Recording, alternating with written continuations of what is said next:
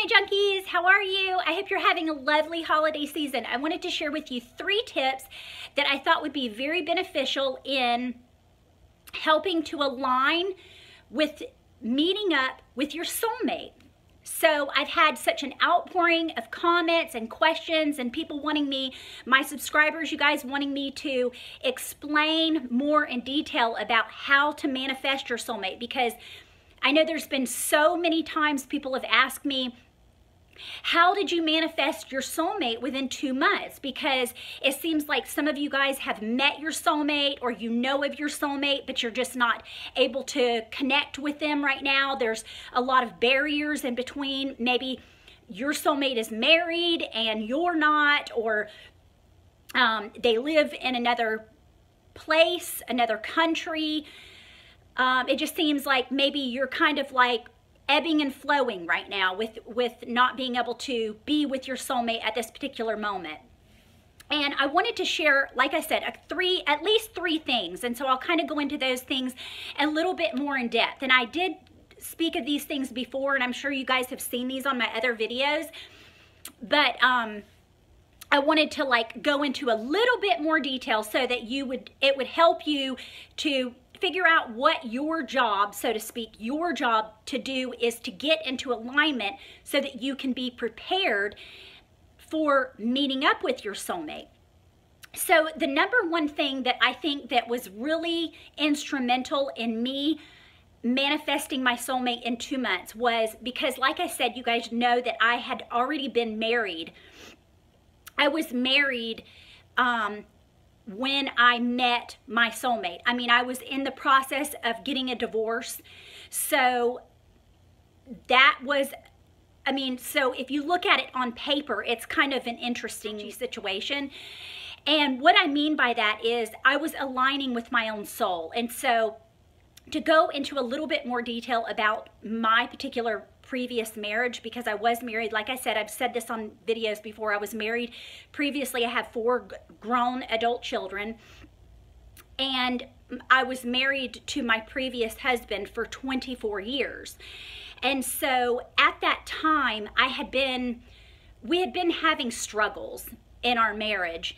And I don't think that he was um, noticed how disgruntled and how deeply affected I was by the pain and the anguish that I had been dealing with in my marriage because I was kind of like, to be quite frank, I was very um, secretive about how I really, really felt in my marriage for a very, very long time. And if you see some of my previous videos on my channel, um, with my previous husband, you can kind of sense that there's a little um, sense of, um, there's a little bit of passive aggressiveness. And and for those of you that know me probably could see that and understand that. And maybe like even though I verbally didn't say anything you could kind of feel that maybe on video. And so I had been talking to um, one of my girlfriends probably for nine or 10 months when I lived in California about how I thought that I really was ready to end my marriage. And so this obviously came as a huge shock and like completely out of nowhere for my my ex-husband but I know internally that I had secretly kept all of those real deep internal feelings to myself. And like I said, I was working on mating with my own soul. And so that is what I would really encourage you each to do because if you haven't mated with your own soul, like you need to be complete and whole within yourself before you can expect to find your soulmate because they're maybe over there trying to get things taken care of on their end of things and you need to work on mating with your own soul and being complete and content and happy within your own your own self. You know you need to have you know self-love and and respect and, and really work on the areas in your life that you really feel that, that are needful for you to become a complete and whole person on your own before you can align with someone else. Because so many times in life, and, and you've probably noticed this, this is another thing that you will notice that you're not ready to meet with your soulmate is that if you feel that there is a part of you that you need someone like I want to be with that soulmate, but you're not completely um, connected within your own self, you're going to, you might meet up with them, but it's going to dissolve, even if it is your soulmate, because you both are not completely aligned within yourselves first. And um, and I think that that's one of the big things for me is that I was not expecting to ever meet my soulmate. Like I said, I was expecting maybe you know, three years down the road after I had been divorced and I was completely healed and I was going through all of the, you know, um, transforming into my better self, you know, on my own without a person, you know, uh, without a marriage partner. And so I think that that's why my soulmate came into my life because I I had no idea that I was planning to see or meet up with my soulmate. I was thinking, yeah, I was going to, but it was going to be in the future somewhere. I wasn't expecting it. And even when I began talking with with Jeffrey, um, just he was just a friend, you know, and it wasn't anything any in, inappropriate. And I was just, I mean, I was actually planning on moving to California by myself. I wanted to move back to California after we had moved to Oklahoma. And I was like, you know what? I'm packing up. I am moving. I am doing this. And I think that people didn't understand like the seriousness of how unhappy I was.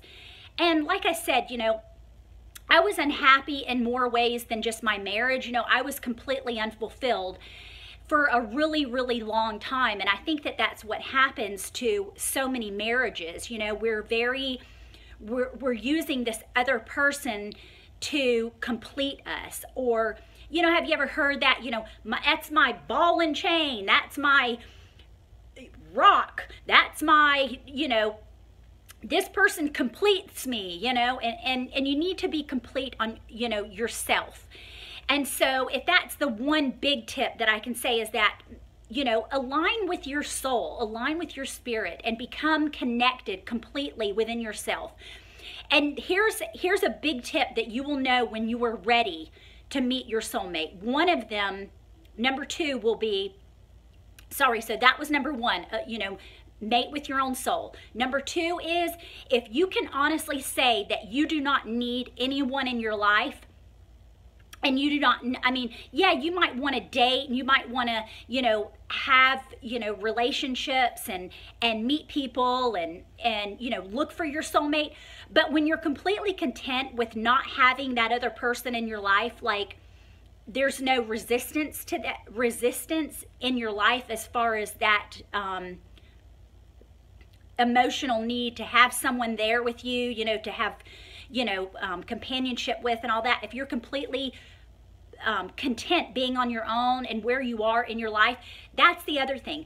Be in the moment and be completely content and happy with where you are right now. You know, if you're single and you haven't met your soulmate, be happy in that moment because it's always like, um, that's the biggest thing for law of attraction is that you ask, then you believe, and then you will receive your soulmate. It's not the other way around. Most people are like, okay, I'll believe it when I see my soulmate. Do you see what I'm saying? But you need to believe it like it's actually going to happen. And then number three is the, the third one would be to continually do focus wheels and meditate because those are the other, those are the other two things that I really did um, and just becoming aligned with my spirit and aligned with trusting the universe is going to bring you um, your soulmate at the perfect, perfect timing. And so I hope those three things helped you. I hope you're having a beautiful holiday season.